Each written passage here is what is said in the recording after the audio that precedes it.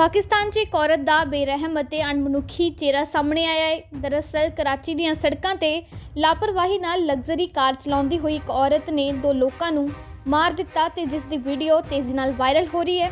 Viral video 'ਚ ਔਰਤ ਕਤਲ ਕਰਨ ਤੋਂ ਬਾਅਦ ਮੁਸਕਰਾਉਂਦੀ ਹੋਈ ਤੇ ਲੋਕਾਂ ਨੂੰ ਧਮਕੀਆਂ ਦਿੰਦੀ ਨਜ਼ਰ ਆ ਰਹੀ ਹੈ। ਦੋਸ਼ੀ ਔਰਤ ਦੀ ਪਛਾਣ ਨਤਾਸ਼ਾ ਦਾਨਿਸ਼ ਵਜੋਂ ਹੋਈ ਹੈ, ਜੋ ਕਿ ਪਾਕਿਸਤਾਨ ਦੇ ਇੱਕ ਮਸ਼ਹੂਰ ਕਾਰੋਬਾਰੀ ਦੀ ਪਤਨੀ ਹੈ।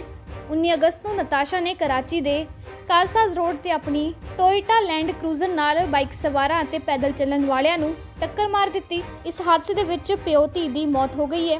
ਮੀਡੀਆ ਰਿਪੋਰਟਾਂ ਮੁਤਾਬਕ ਹਾਦਸੇ ਵਾਲੀ ਥਾਂ ਤੇ ਮੌਜੂਦ ਲੋਕਾਂ ਨੇ ਦੋਸ਼ੀ ਔਰਤ ਨੂੰ ਉੱਥੋਂ ਭੱਜਣ ਤੋਂ ਰੋਕਿਆ। ਹਾਲਾਂਕਿ ਸ਼ੁਰੂਆਤੀ ਰਿਪੋਰਟਾਂ 'ਚ ਕਿਹਾ ਗਿਆ ਕਿ ਹਾਦਸੇ ਦੇ ਸਮੇਂ ਨਤਾਸ਼ਾ ਨੇ ਸ਼ਰਾਬ ਪੀਤੀ ਹੋਈ ਸੀ, ਪਰ ਅਜੇ ਤੱਕ ਇਹਨਾਂ ਖਬਰਾਂ ਦੀ ਕੋਈ ਪੁਸ਼ਟੀ ਨਹੀਂ ਹੋਈ ਹੈ।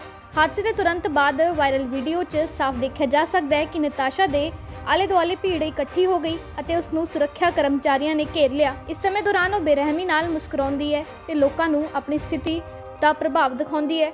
ਦੋ ਵਿਅਕਤੀਆਂ ਦੀ ਮੌਤ ਕਾਰਨ ਉਸਦੇ ਚਿਹਰੇ ਤੇ ਹਲਕੀ ਜਿਹੀ ਵੀ ਝੁਰੜੀ ਵੀ ਨਹੀਂ ਹੁੰਦੀ। ਨਤਾਸ਼ਾ ਨੂੰ ਇਹ ਕਹਿੰਦੇ ਹੋਏ ਵੀ ਸੁਣਿਆ ਜਾ ਸਕਦਾ ਹੈ ਕਿ ਤੁਸੀਂ ਮੇਰੇ ਪਿਤਾ ਨੂੰ ਨਹੀਂ ਜਾਣਦੇ। ਨਤਾਸ਼ਾ ਦਾ ਇਹ ਵੀਡੀਓ ਵਾਇਰਲ ਹੋਣ ਤੋਂ ਬਾਅਦ ਸੋਸ਼ਲ ਮੀਡੀਆ ਤੇ ਲੋਕਾਂ 'ਚ ਗੁੱਸਾ ਹੈ। ਇੱਕ ਨਿਊਜ਼ ਦੇ ਮੁਤਾਬਕ, ਜਦੋਂ ਗੁੱਸੇ ਵਿੱਚ ਆਈ ਭੀੜ ਦੇ ਖਿਲਾਫ ਜਵਾਬੀ ਕਾਰਵਾਈ ਕਰ ਰਹੀ ਸੀ ਤਾਂ ਪਾਕਿਸਤਾਨ ਰੇਂਜਰਸ ਦੇ ਜਵਾਨ ਉਸ ਨੂੰ ਬਚਾ ਰਹੇ ਸਨ।